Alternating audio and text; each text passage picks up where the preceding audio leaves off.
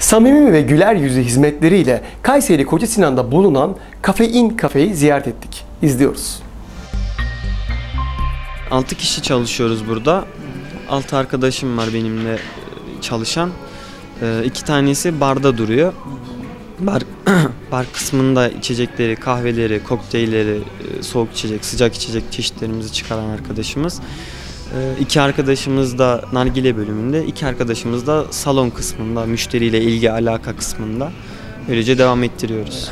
İlerisi için neler düşünüyoruz? Ee, Buradan neler söyleyebiliriz? Hem mekanla ilgili hem de hedeflerinle ilgili. Hedeflerimle ilgili inşallah gelecek dönemlerde daha yeni ikinci yılımı dolduracağım inşallah. İki yıl içinde birçok yol kat ettim. Birçok insan tanıdım.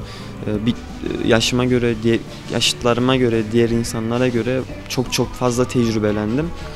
Ee, Bunun sonucunda tecrübelerimin de tabii ki de sonradan ekmeğini yiyeceğimi biliyorum. Bu yüzden yavaş yavaş büyümeyi tercih ediyorum. Gelecek dönemde de inşallah e, franchising e, vermeyi düşünüyorum.